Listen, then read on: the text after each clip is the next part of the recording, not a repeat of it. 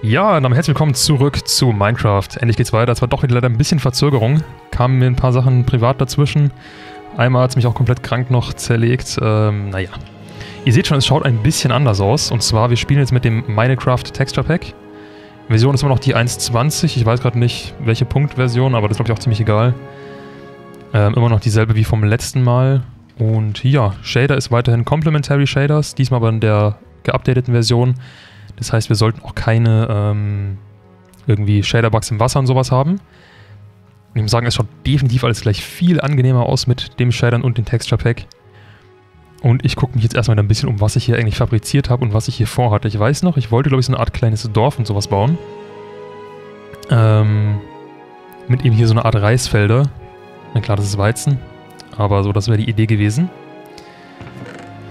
Ah, was haben wir denn hier überall so? Ich weiß noch, wir waren in der Höhle. Haben ein bisschen Sachen schon mal abgebaut. Ah, ne, Kopper, ich dachte gerade, das wäre Eisen, aber... Okay, damit muss ich erstmal zurechtfinden, was denn hier überhaupt was ist. Okay, mehr Eisen. Haben wir echt nur vier Eisen? Wir haben, glaube ich, noch Eimer irgendwo, aber... Na, ein Iron Ingot haben wir hier noch drin. Das lege ich mal hier mit dazu. Ja, ansonsten haben wir irgendwie nicht so wirklich viel. Naja. Ähm... Genau, ich weiß nicht, welche Farbe der Weizen hier in dem Texture Pack hat, wenn der komplett reif ist. Aber das schaut mal alles noch recht kurz aus, deswegen glaube ich nicht, dass das hier schon fertig ist. Wir lassen es einfach mal wachsen. Und gucken da demnächst nochmal rein. So, und wo bauen wir denn jetzt am besten? Ich glaube, hier könnte man schon ganz nett eigentlich eine Hütte bauen. Ein bisschen Platz möchte ich noch lassen, tatsächlich wegen dieser Art Reisplantagen. Deswegen will ich nicht zu nah dran bauen. Ähm, ich bilde mir so ab hier ungefähr. Ich mache mal so ein bisschen den Bereich frei. Ah, ich weiß noch, ich sollte keine Blumen in der Hand halten, weil dann kommen gleich die Bienen zu mir. Und die würde ich ungern äh, wütend machen, indem ich die aus Versehen schlage. Ich glaube, so ab hier ungefähr könnte man dann mit dem Haus anfangen. Ich baue jetzt eher kleine Häuser. Ich glaube, das war so meine Idee, damit eben auch so eine Art kleines Dorf sich erstellen kann. Und ja, jedes Haus mit so ein bisschen so einer Funktion. Hier kommt dann so ein Farmhaus hin, dann kommt irgendwo noch ein Lagerhaus hin, dann irgendwo noch so eine Art Minenhaus und ich weiß nicht, was man alles noch so bauen könnte. Ähm, genau, die Monster haben wir, glaube ich, an. Ich gucke mal ganz kurz. Ja, die haben wir an, deswegen sollte ich auch gleich schlafen gehen. Hi Jeff, grüß dich. Ähm, genau. Ich muss sagen, es schaut echt ganz geil aus mit dem Texture Pack. Gerade hier auch so in diesem Cherry-Biom, Kirschblüten-Biom. Gefällt mir sehr gut. Ja. Gut. Wie gesagt, ich muss noch so ein bisschen zurechtfinden, wo ich hier wie, wie wo was vorhabe und geplant hatte. Wie viele Etagen könnte man hier noch machen? Wir hier noch eine Etage, dann kommt hier noch eine, dann vielleicht noch eine zweite, also auf der Ebene. Ich glaube, alles andere wird größentechnisch ein bisschen zu weit. Vielleicht noch eine einzige weitere. Das könnte noch gehen. Hm. Ah nee, keine Blume in die Hand nehmen.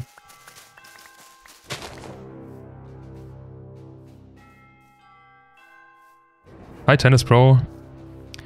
Ah, ich weiß gerade nicht mehr, wer du nochmal warst. Der Name sagt mir noch was, aber ich kann es gerade nicht mehr ver verknüpfen.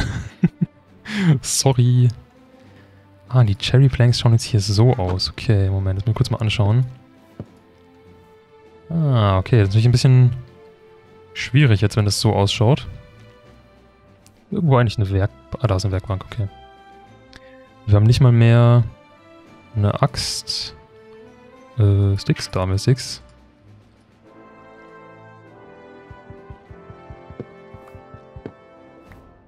Da brauchen wir vielleicht normales Holz, weil das Cherryholz passt ja dann nicht ganz so gut, um hier Häuser mitzubauen. Wenn es so kantig ist. Man kann zwar andere Sachen schön mitbauen, aber ich glaube, für eine Hauswand schaut es nicht so gut aus.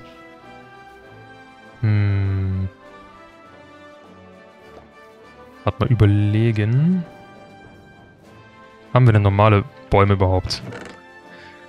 Okay, wir hätten Jungle Saplings, Akazien Saplings, Oak Saplings. Ja, wir hätten immerhin welche.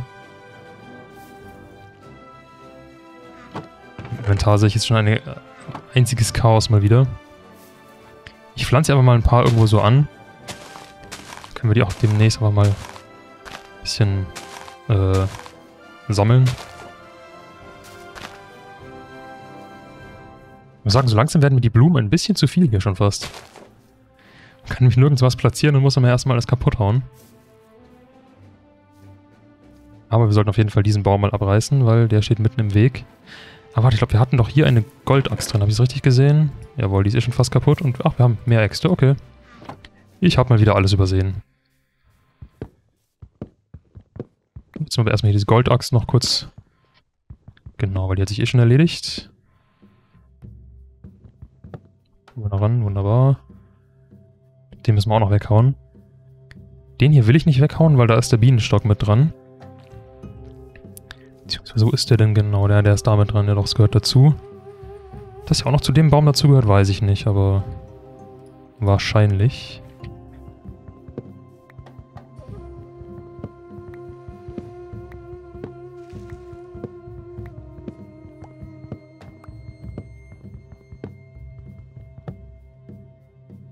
Ist heute auch schon wieder so brutal warm, ey. Dachgeschosswohnung lässt grüßen. Das war auch so ein bisschen mein Dilemma die letzten Tage, warum ich so gefühlt gar nichts aufgenommen und gestreamt habe, weil man ist hier oben einfach komplett weggeschmolzen. Und dann auch hier mit Licht vor der Kamera, äh, vom PC sitzen, sagen wir vor der Kamera, genau. Äh, ist nicht so angenehm. Ich meine, ich schwitze jetzt schon wieder. Klar, ich könnte die Kamera auch ausmachen, aber wäre irgendwie, glaube ich, doof, ein Livestream ohne Kamera. Taugt mir zumindest persönlich nicht so. Das ist so, haben wir hier noch irgendwas? Ja, den Baum auf jeden Fall. Du musst leider auch weichen. Tut mir leid, schöner Baum.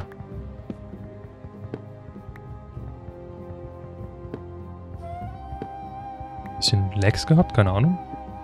Oder habe ich gerade nur die Maus verzogen?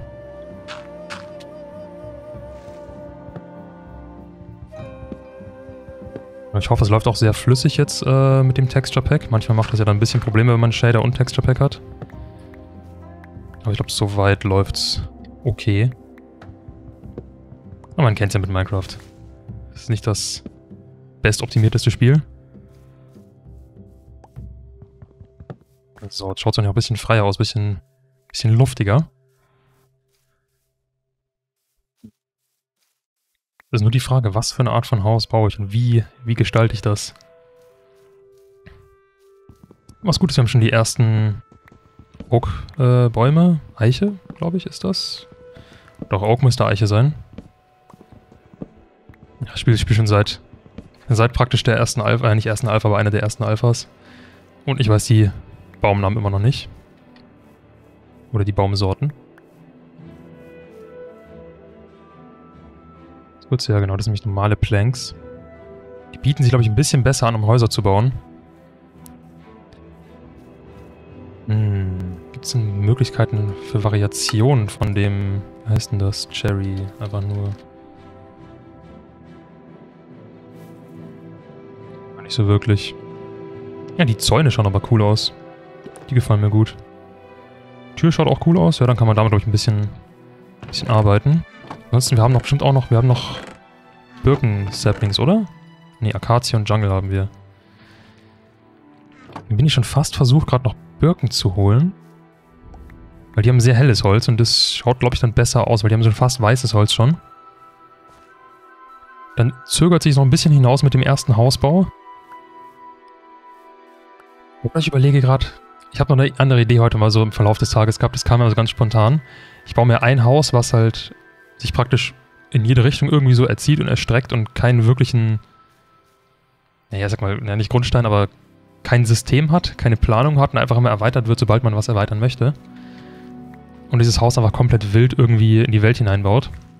Und versucht es so aussehen so la zu lassen, dass es äh, ja, nicht komplett chaotisch ausschaut. Aber das wird es ausschauen. Doch, ich glaube, ich mache sowas. Einfach so ein Haus, was alles irgendwie kombiniert. Vielleicht auch mit längeren Gängen, unterirdisch, oberirdisch, wie auch immer. Brücken und so weiter und so fort. Aber da muss ich erstmal hinkommen, zeitlich überhaupt das alles zu bauen. Aber das wäre zumindest mal so die Idee, weil ich glaube, das kriege ich besser hin wie so eine Art kleines Dorf, weil im kleinen Dorf schaut dann jedes Haus irgendwie gleich aus. Und wenn ich da ein so ein großes, komisches Gebilde vor mich hinzimmer, könnte das ganz cool werden. Betonung liegt auf könnte. Ich mache mir erstmal noch ein bisschen mehr Platz hier mit der Erde. Ach, und eigentlich wollte ich doch gerade Birken sammeln gehen. So, noch kurz hier die Saplings einsammeln. In irgendeine Richtung würde ich den Wald dann auch gerne ein bisschen dichter pflanzen.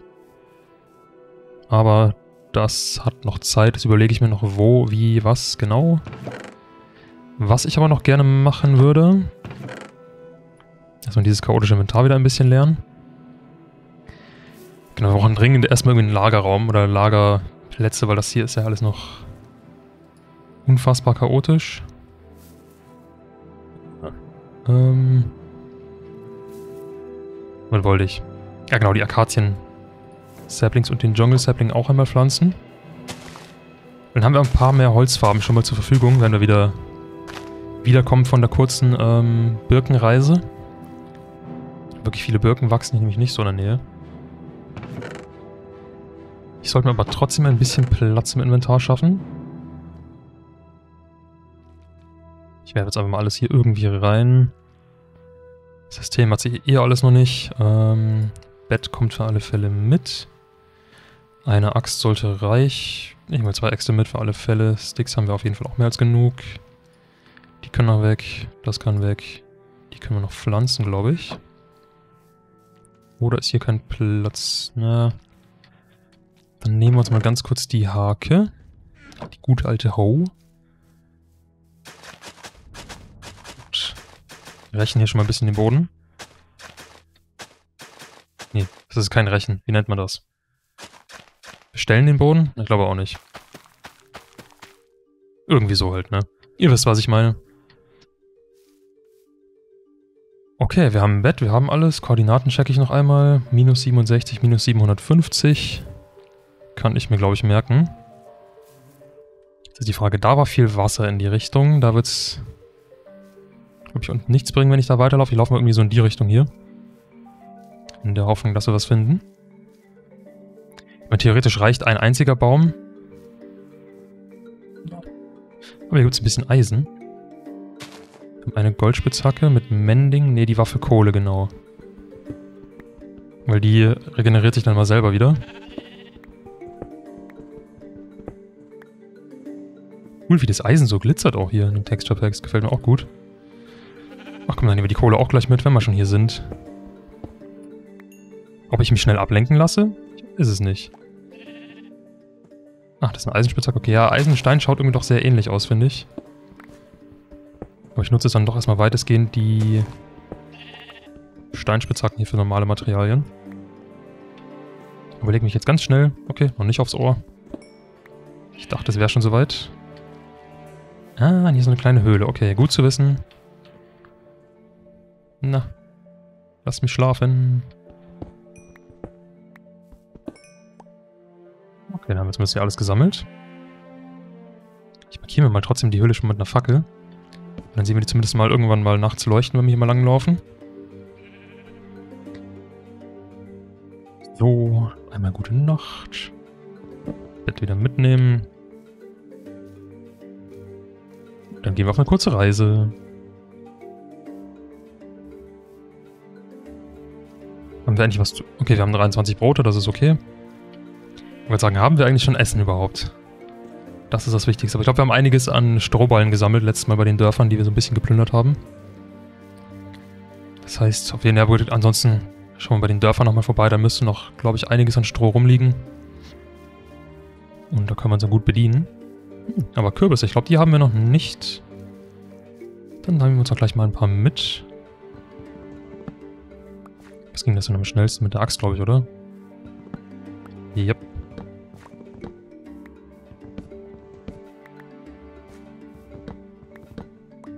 So, das reicht. Der Rest kann gerne stehen bleiben. Und da hinten haben wir einen normalen Wald. Ah, da auch. Da müsste es dann auch Birken geben. Ah, warte, war hier nicht so eine Riesenschlucht irgendwie? Doch, das war doch auf der Karte. Ich glaube, da war die Riesenschlucht.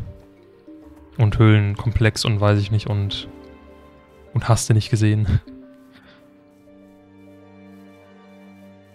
Ich erinnere mich, glaube ich, so vage daran, ja. Ja, genau, es noch ein paar Birken auf jeden Fall, das ist gut. Nur Angst, dass ich gleich irgendwo runterplumpst, weil ich dann zu schnell hier um die Ecken laufe. Hm. Die Musik hetzt auch gleich so ein bisschen.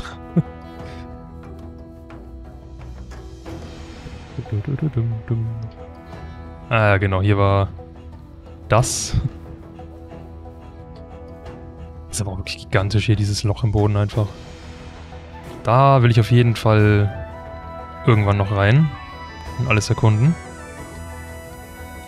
Aber das machen wir erst, wenn wir uns oben so halbwegs niedergelassen haben. Zumindest eine ja, vernünftige Rüstung haben und nicht nur ein kleines Helmchen. Weil das geht sonst, glaube ich, nicht so gut aus für uns. Welche Bäume ich noch gerne hätte, wären noch die äh, Tannen und das dunkle Oakwood. Zum Gucken? Alles gut. Mit denen kann man nämlich auch mal sehr schön bauen. Natürlich die nächste Schlucht direkt hier. Was auch sonst.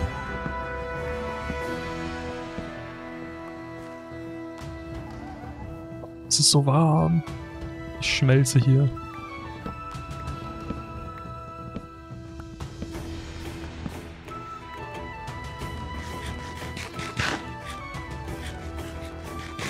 Das Holz ist mir eigentlich gerade an sich gar nicht so wichtig. Ich will eigentlich nur die Saplings haben, damit wir es oben bei uns auch farmen können. Jetzt kann man so eine kleine Baumfarm hier irgendwie anlegen. Das habe ich mal ganz früh irgendwann gemacht. Habe ich aber auf dem Meer gebaut und mir immer Plantagen praktisch oder halt kleine Inseln gebaut auf dem Meer. Und dann auch eine riesen Baumplantage irgendwie angelegt. Ich weiß, einiges von den Blättern wird es hier nicht decayen, also sich abbauen, weil hier noch zu viele andere Bäume stehen. Ich hau mal trotzdem ein paar von denen weg. Das Holz brauchen wir an sich ja auch, also von daher ist es keine verschwendete Zeit.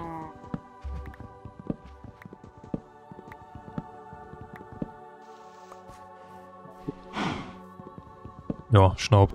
Da stimme ich dir zu. Typische Montagseinstellung.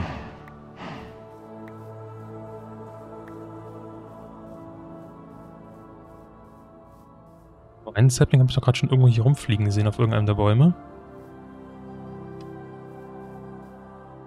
Aber wo ist er hin? Nee, das ist der falsche. Hm? Ah, da oben ist einer. Okay, das ist schon mal wichtig. So, kann ich hier drüben noch irgendwie ein bisschen nachhelfen? Ja, bestimmt mit den zwei Bäumen.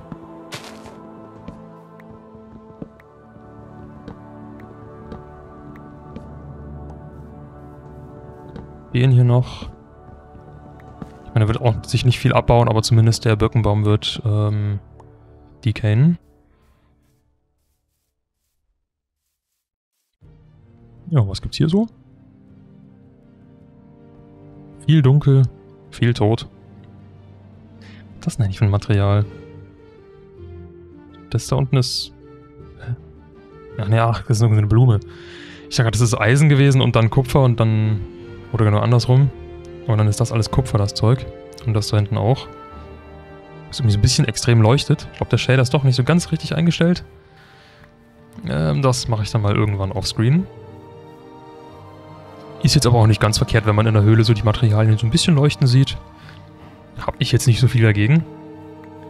Und nein, das ist jetzt kein Cheaten. Glaube ich zumindest. Behaupte ich jetzt einfach mal.